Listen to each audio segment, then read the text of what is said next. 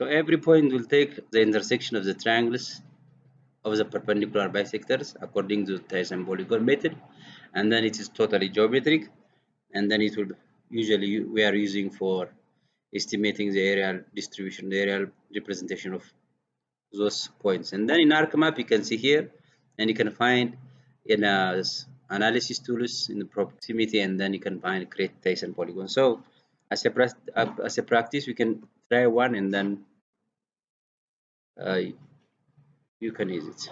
So here it is. I can import the points. And title to I will open ArcMap and then import the points the points that I'm going to interpolate and then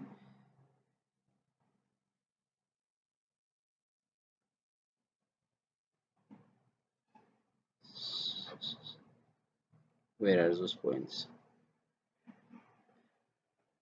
I'm now here you, you this is your fold writing.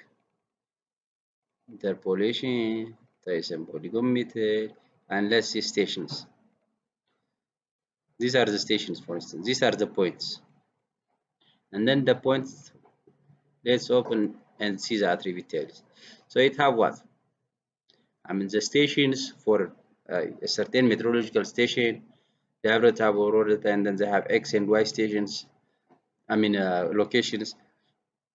And then they have annual rainfall and then maximum temperature annual maximum temperature. So what I'm looking for is I mean I, I can prepare a certain boundary where these stations are there. For instance I can bring one of the watersheds that we have seen for delineation. We can delineate and look at the, that watershed actually. So let me bring one area or boundary. I think uh, I can bring Gumara here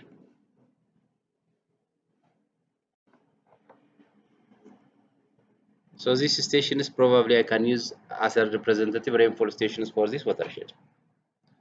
So if I'm going to use this one, I mean this is representative, but I can use that. I mean where is the value of this is the rainfall, where is the value of this, I mean a point here. What values or what magnitudes of rainfall does this area would take? I mean this is a point estimation and then I'm looking for any arbitrary position.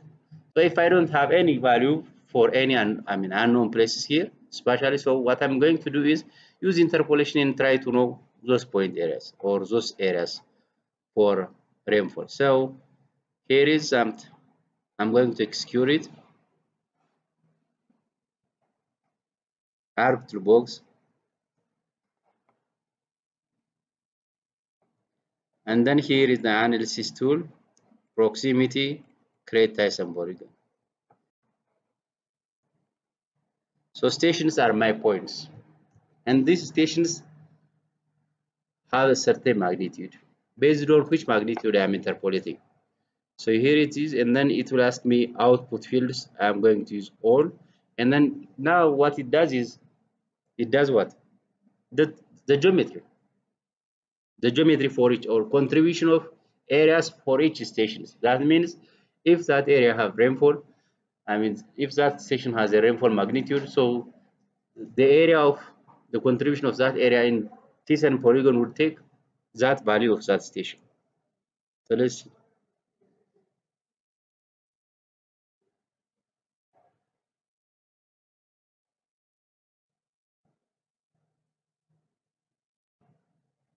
We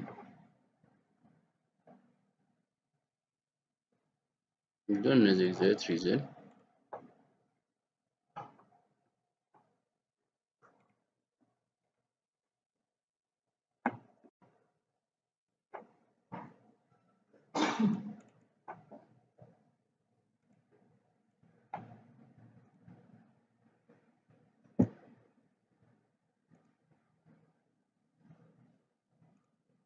So here is this is not your thing. I think exercises interpolation I can say th pole.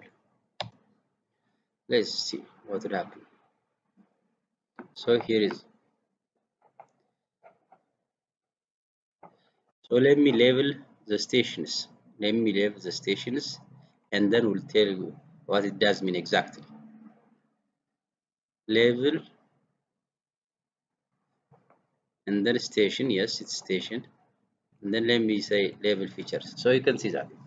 So any parameter for instance and according to Thiessen polygon any parameter if there is rainfall parameter or any what I mean take if this have a water quality representing this area or rainfall so we'll take the whole magnitude. Every magnitude will take this one. So for instance if I have Ahmedabad rainfall of 1652 millimeter per year. So it does mean that this rainfall is influencing the whole area of this one. So it indicates that this area will take I mean any place any position in this area will take the annual rainfall of Ahmedabad that means the contribution of this point is influencing the whole area of this point so that we can take it. Now the thing is I mean we can just use the representation is and then indicate this no graduated. This is not categories some input field okay id not color map unique uh, values. This one is id and then this id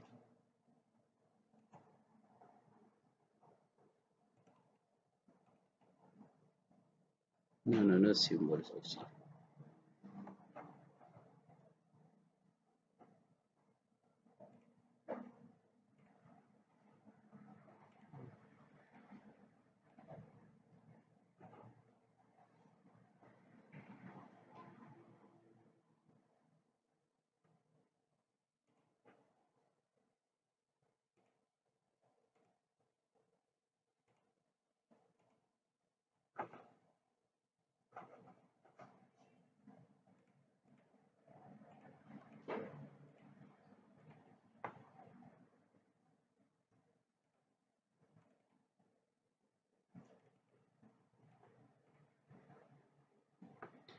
So now, I mean, I'm, this is not my boundary, so I am looking for the station's influence of each station using, I mean, a watershed that I'm looking for. So I want to know the contribution of each rainfall station for a certain watershed. No, this is not my boundary actually. This is the extent of the Thiessen polygon. This is the extent of the Thiessen polygon made by I drawing that geometry in which we have seen that the first is connecting the points and the second is drawing perpendicular bisector. So they have uh, that one.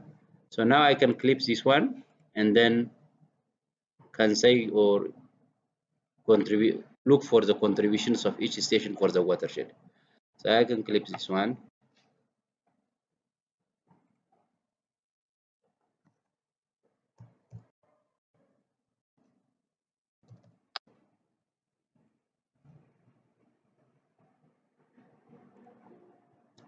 so it's a problem saving sometimes.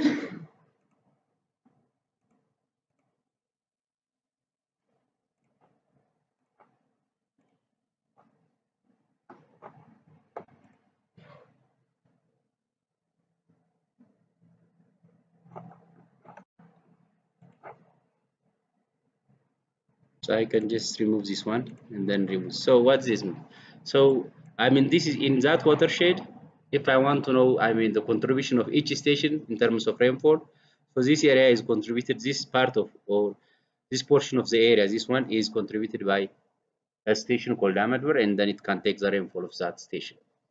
And then this Debre Tabor will take the this portion of in the influence from the watershed. And then this watershed Lowey station so it can I mean influence this much of the area this portion or much of the area. So we can calculate the area too. And then you can say mechanic use which takes the larger in the watershed. So this will help us to know at least I mean the contribution of each station in the watershed plus we can know or we can clearly identify the area rainfall from different stations rather than using a single station. And then this is how we can use uh, polygon. And then there is the area that we can estimate and then see the proportion of this uh, the proportion of these areas I think I can export this one so how can I know that the proportion of each station so I mean this is area only that So which one is the proportion? I mean, how much part of the watershed this station is influencing, and then about this station. So I can export this one. Export data.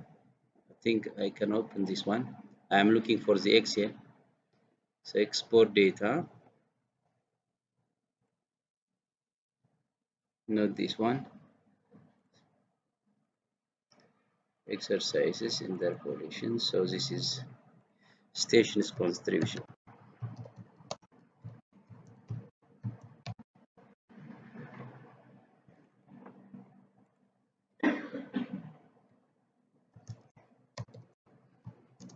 contribution. I have say DBF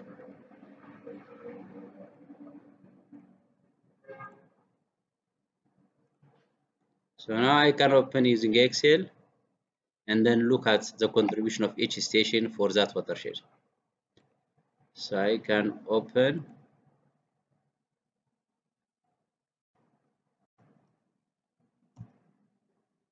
So here is your folder exercises in their interpolation stations contribution.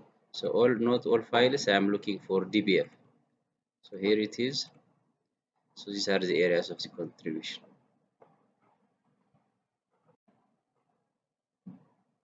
So you have each station 1 to 16 these are the stations. These are the stations that we are looking for. I think uh, every station has to go.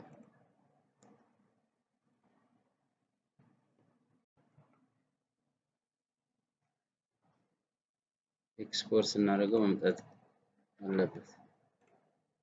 so I can take copy and then I can take here so that I can know the contribution of each station in proportion or in person copy. For one Zaire station. And then copy for this station. Copy this station. And then copy. The other one might have different there is no any station. So here it is. This is the sum of the areas. So the contribution in percent for each areas. So it was that you can use for area can be calculated using this one. Divided by this times 100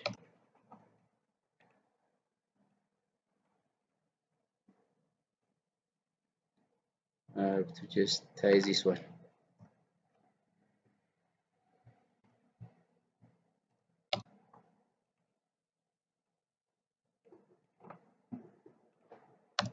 so it will help us to know which area or which portion or point of um, geographical location having rainfall magnitude has high contribution on the watershed. So you can see that these three stations has higher rainfall contributions than the remaining two. And as you can see that their contribution is higher. So the bottom line or the conclusion here is I mean to know the unknowns as part of interpolation technique as a method of interpolation technique to know the magnitude of uh, the unknown places based on the known places in Thiessen polygon the geometries are just drawn and then based on that geometry each geometry area tells us the contribution or the influence of a single point, the influence of a single point, like this one, like what we have seen here. Like what here. So these were the points. So this area means the whole area or the whole section of this area will take the value of this one. This is according to the Thiessen polygon. So it's not usually recommended because it is geometrical and then it doesn't incorporate uh, topographic topographic relationships.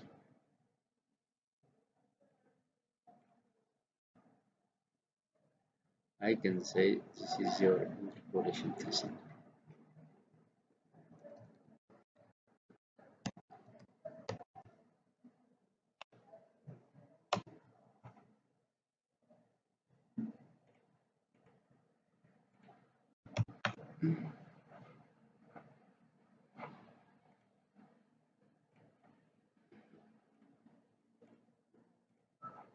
So the second method for our practical session that I'm going to show you inverse distance weight.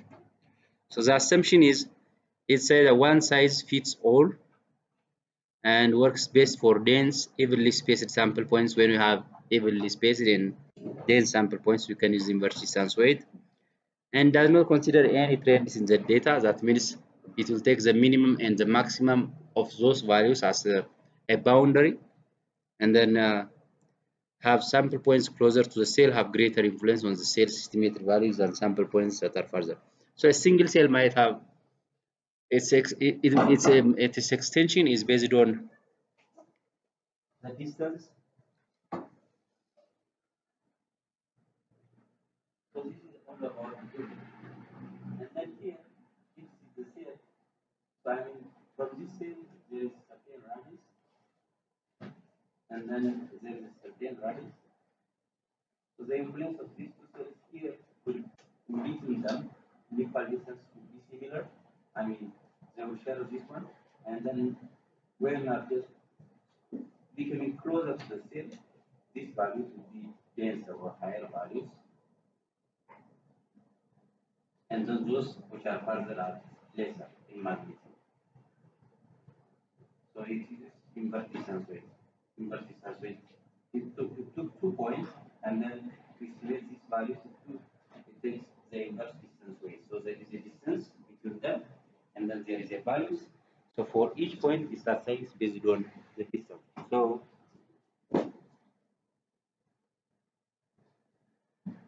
when we are closer to this point, from this point and this point, we are just trying to or approaching the value to this one. Then we are closing this one, it approaches. When are in the mid, it takes the average result because they have similar. So that's called the distance point, and then we are usually are using this one because it incorporates topographic uh, relations or uh, features. So here it is, you can see that the representations and then the maximum and the minimum are these ones observed and then everything lies here. And then this is point one and then this is point two. So it assumes that this is the maximum the minimum limits of uh, the points that you can see. So and the principle is the same and then the principle is the same in uh, original definitions that they are trying to uh, provide a value for a known place based on the known places and then again you can find the IDW that in spatial analysis in ArcGIS IDW and then you can uh, put different parameters so you can use uh, the output for your analysis or the purpose unit. So again this is I can bring again these stations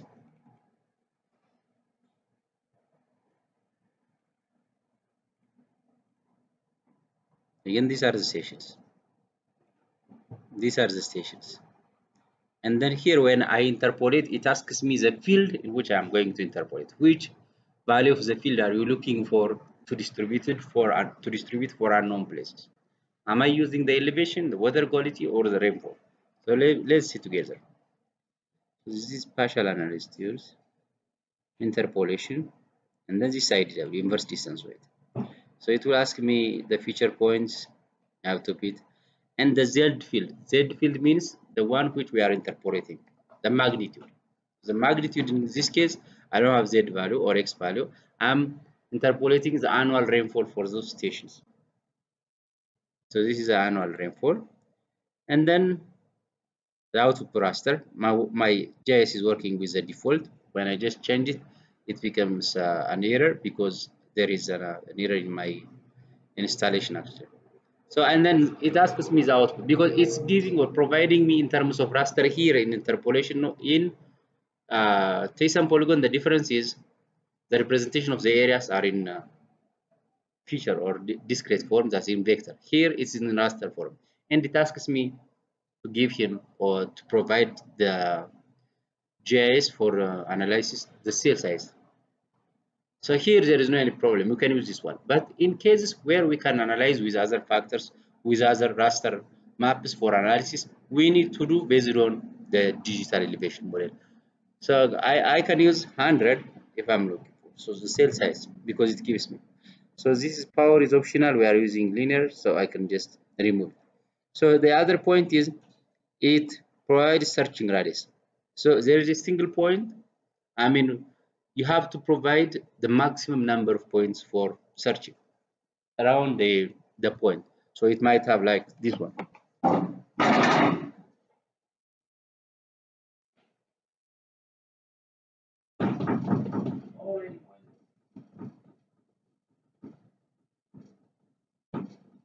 here is the point. So if, is certain point means 12 points which you are providing this point one, two, three, for any 12 points so that it can interpolate with this one. So interpolate with this one means like what I told you.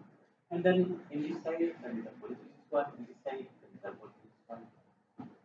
It can do reverse So that's I mean 12 is the maximum. Beyond that it will not be feasible. So we can use the default one.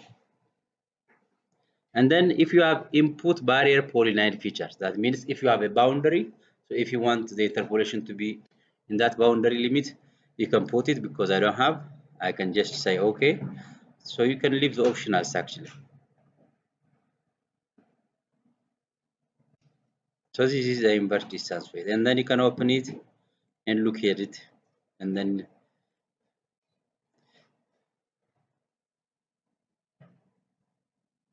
So it gives you raster information. It's raster dataset, and then everything is here, and spatial reference is here, and then I think there is format. The format is FGDBR. You can change it into grid, and this is one of the raster format, and then you can change into grid, and then we can just look at this into different representations. I think for visual purpose.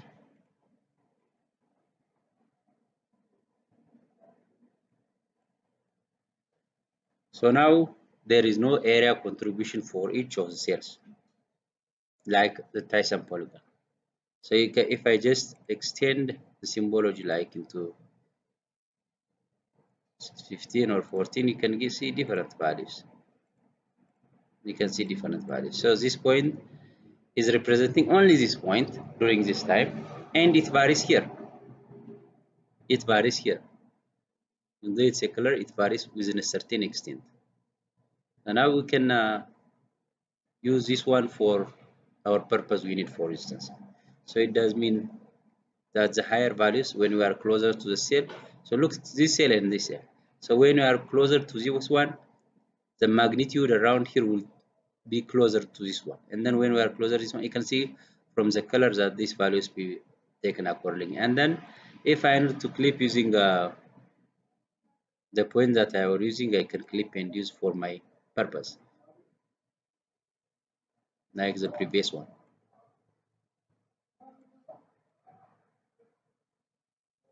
So I can cut and then take this one for my raster analysis or for my purposes usually when we use uh, in a reservoir analysis the first thing is to interpolate these points or the bathymetry points into raster format and then from raster format to tin development. So during that time, we'll see the is this interpolation technique uh, in uh, raster format. Now, I mean, uh, the purpose is to, to determine for the unknown places. If you are interested to know the point, if you have a point here, and if you have a point here, so you can extract from this one. This is a raster.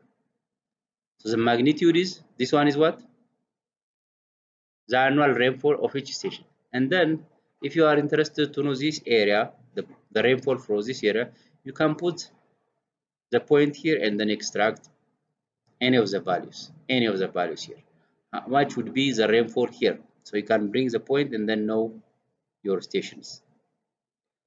So if I can create one point and then let me show you. I mean, this is our known place, and then you might say that how you can know that one. But in principle, if the first thing is, for instance, for this case, you can see that it's it ranges from 1380.7 to 1407. This area, this is a range that you can know. But if I have one point, and if I am interested to extract the amount of rainfall that from that point, I can use uh, the first thing is I have to have a point I have to have a point and then let me create that point. Interpolation.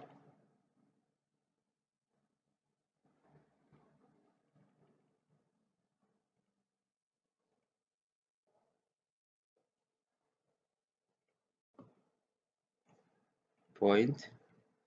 Extract. Or unknown let me say unknown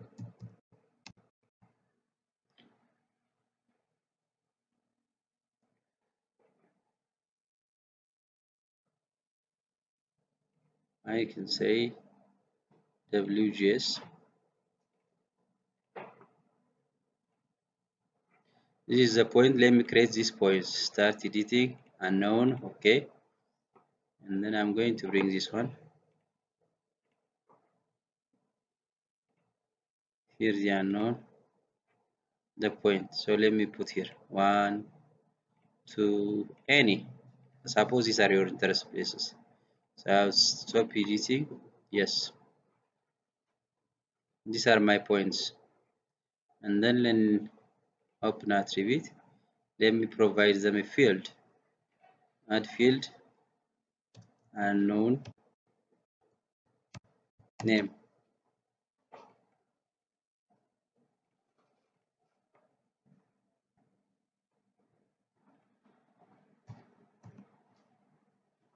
so let me rename them I need to edit.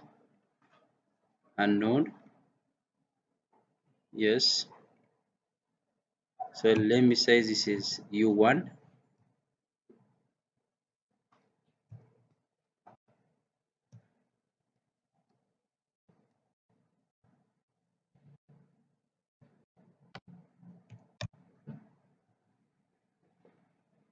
so let me stop it and save it yes. So these are the labels. And the label features need to be like uh,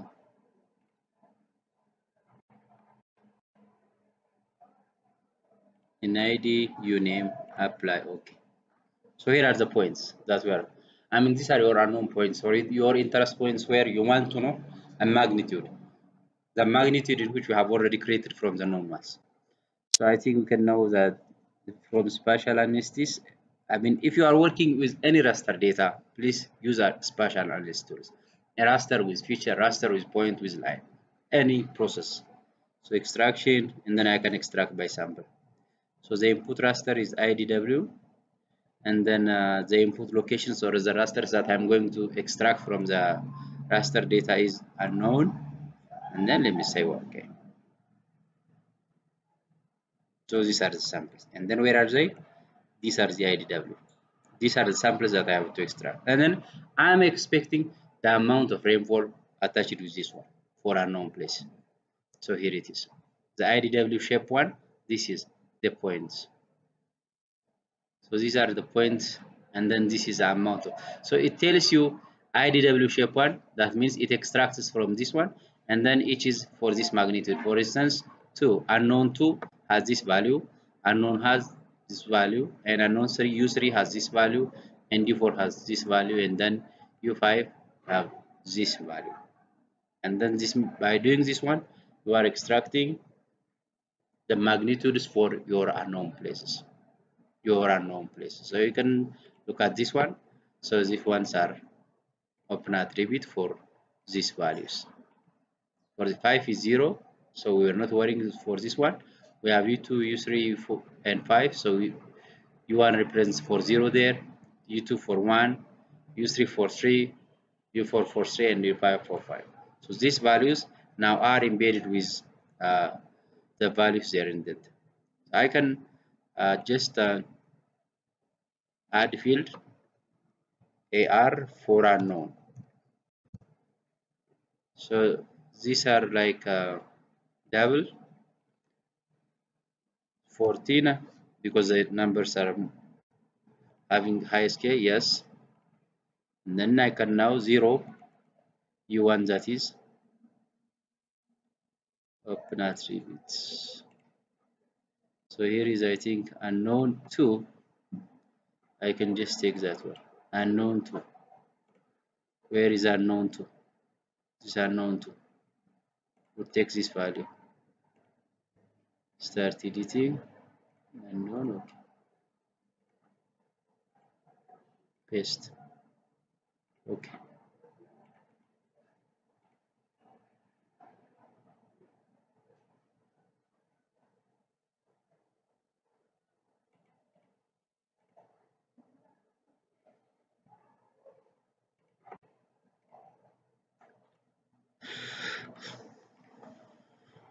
unknown to this one is unknown to 2 so I just paste it. And it's telling me that the scale or decimal place after the point can exceed 4 digits. I have given that the scale or the number of digits after uh, decimal has to be 4 and now it it is like 1 2 3 4 5 6 so I'm just out of the row. So I have to improve it. I have to create add the field and improve it. That's it no. Add the field is out of I have to stop editing because it do not work. I have to do this one add field. And that's uh, U aerial rainfall. And then I am using double. Let me do this one 20 and then the decimal place like 8 okay. Yes do this one. And then I have to start editing. Sample point unknown points okay continue. So let me see this one. Open. Object id open. Shape id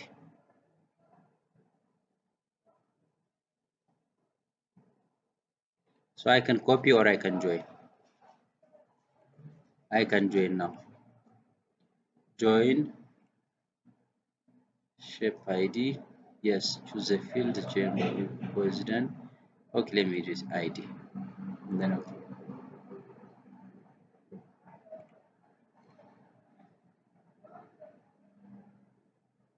hmm.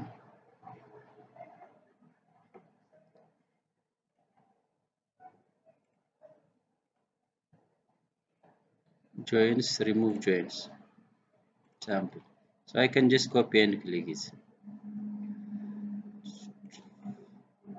So this is for unknown for unknown one I have this one.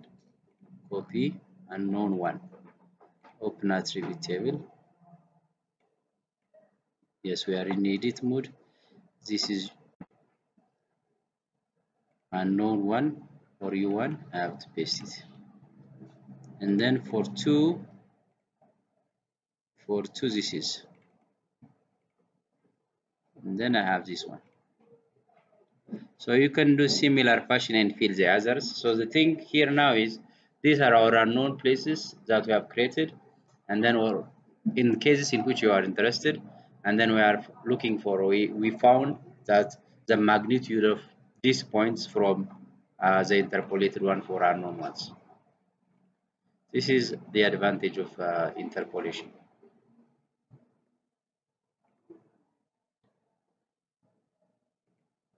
IDW. IDW weather supply.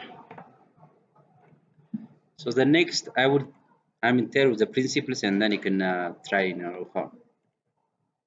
And then the kriging. Kriging is one technique of interpolation we mostly are using this one and then have different parameters and then increasing the distance and the direction of every point pair is quantified to provide information on spatial autocorrelation of sample points. So it doesn't take the distance between them but it uses spatial autocorrelation correlation between the points. Those points having strong correlation will take uh, higher magnitude